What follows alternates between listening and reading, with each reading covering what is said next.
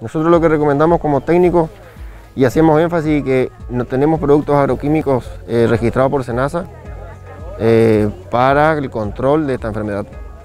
Entonces, nosotros lo que estamos enseñando o, dando a conocer son las tareas que se hacen de saneamiento. Identificar la enfermedad, cortar la rama enferma, en casos como este lote que tenemos plantas completamente enfermas, o sea, estamos hablando de un rebaje al ras del suelo. Ese material, en lo posible, sacar del lote sin tener mucho contacto con las otras plantas sanas, quemarlo. Para desinfección de herramientas se usa alcohol al 70% más agua un 30%.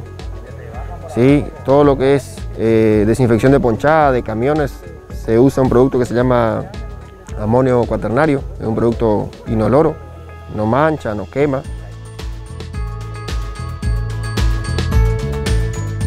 No solamente se desinfectan las herramientas, sino que nosotros mismos, porque a veces el contacto en mi mano, yo paso una enferma a una, a una sana y yo estoy contagiando.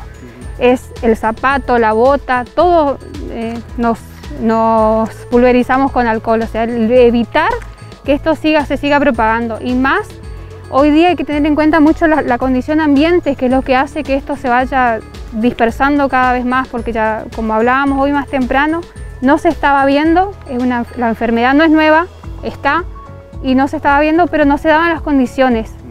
Y fue esta lluvia de enero eh, y después el sol lo que hizo que se propague en muchos lugares.